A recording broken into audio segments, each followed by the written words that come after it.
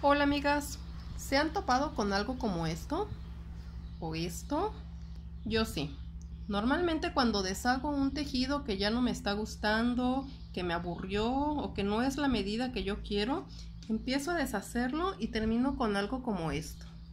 O se me abrió una de, de las bolsitas que no he usado y se me deshizo. Termino enredándolo de esta manera y esta manera pues no es la ideal porque el hilo se maltrata. Al momento que le estamos dando vuelta lo estiramos demasiado y pierde esa composición esponjosita que normal normalmente tiene un, un hilo o un estambre nuevo. O cuando queremos tejer una de estas bolitas que hemos formado queremos jalar el hilo y la bolita siempre se nos va termina yéndose incluso hasta abajo de la mesa ok en esta ocasión te voy a enseñar una manera muy práctica de enredar este tipo de hilos y que vuelva a tomar una forma de madeja. Usando cualquiera de nuestras dos manos, vamos a tomar el hilo de esta manera, agarrándolo entre estos dos dedos, el primer cabito, y lo vamos a enredar entre el dedo pulgar y el dedo meñique, de esta manera, formando como un 8. Lo vamos a pasar de dedo a dedo Vamos a procurar no cerrar estos dedos, vamos a tenerlo lo más tenso posible, porque si lo cerramos, pues nos va a volver a quedar una, una bolita y no es lo que queremos. Entonces vamos a enredar vuelta y vuelta lo más tenso posible, tampoco no es tirando demasiado para que el hilo o el estambre pues no pierda esa, esa suavidad que lo caracteriza. Vamos a enredarlo hasta terminar con todo el hilo.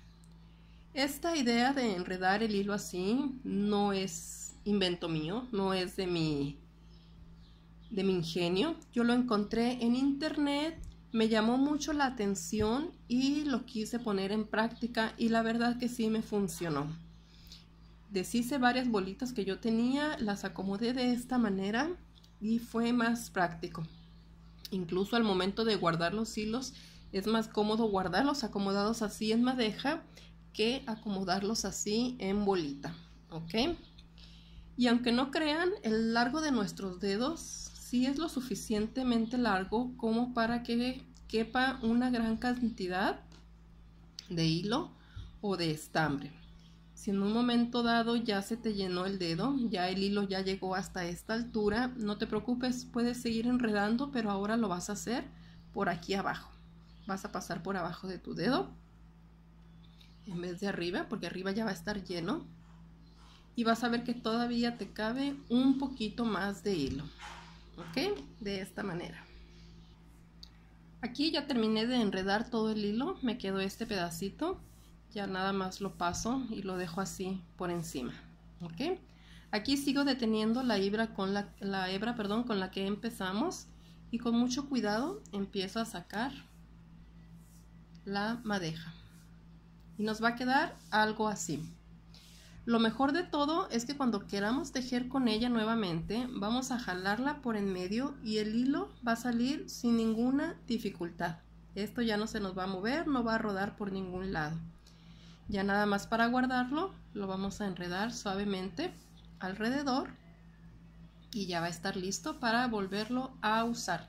De esta manera ya no se maltrata, ya no anda rodando por todos lados y podemos almacenarla mejor. ¿Qué te parece?